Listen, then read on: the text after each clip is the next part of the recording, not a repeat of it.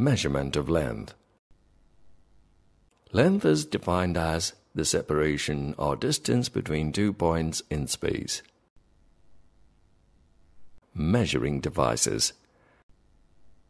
For measuring the length of any object, we require to choose a proper measuring device, for example, ruler, steel tape, and flexible tape, yardstick.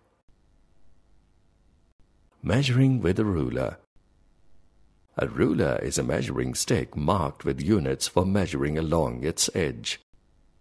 These can be made of plastic, cardboard, wood, metal, or fabric. These can be either English, inches, or metric, centimeters, units of measurement. Reading a ruler starts with understanding what all of the ticks mean. The largest sticks on a ruler represent a full inch, and the distance between each large tick is one inch. The large sticks that are in between the inch markings are half inch markings, and the distance between an inch tick and a half inch tick is 1 by 2 inch. Metric rulers have centimeter and millimeter markings. The large markings on a metric ruler represent a centimeter. The small ticks on a metric ruler represent a millimeter. There are 10 millimeters in a centimeter, and so there are 9 millimeter ticks between each centimeter tick. Proper placement of scale. Measure the length of the block by placing the scale in two different positions as shown in figure A and B. Figure A represents the correct position of the scale to measure the length of the block. Figure B represents the wrong placement of the scale. In this position, you will measure more than the actual length. Hence, for correct measurement of length, the scale should be placed along the length to be measured as shown in figure A.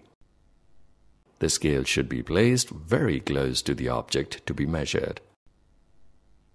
When the zero mark of the scale is damaged, due to the repeated use, the left end of the scale carrying zero mark gets damaged.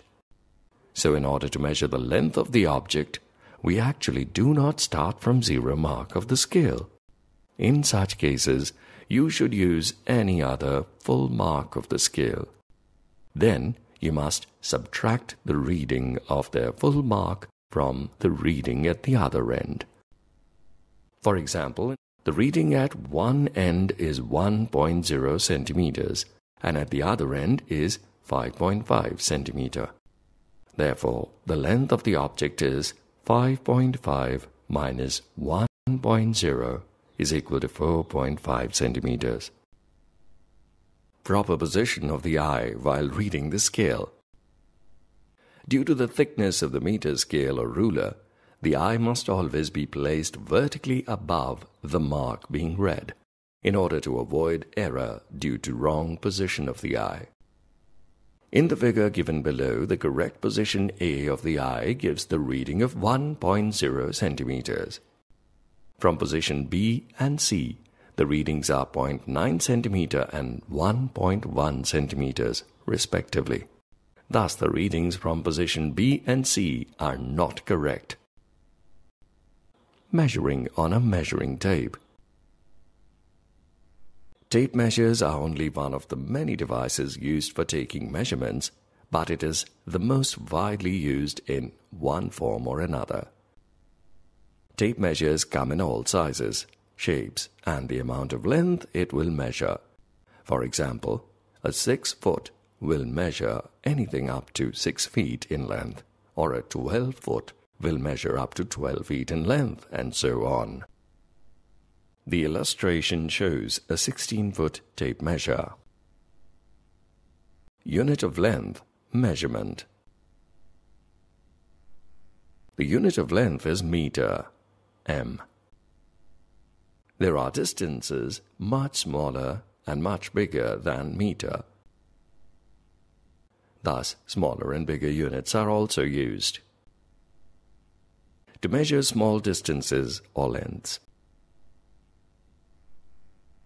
To measure the length of your pencil or the length of your physics book, you do not require a meter rod for measurements. The length of pencil and the physics book are much less than a meter. It is therefore convenient to express these lengths in smaller units. Centimeter is taken as a unit for these measurements. 1 meter m is equal to 100 centimeter cm. To measure big or long distances or lengths. On the other hand, to measure long distances, meter will be an unsuitable unit. Hence, a large unit of length is needed. This unit is called kilometer. 1 kilometer km is equal to 1000 meter m.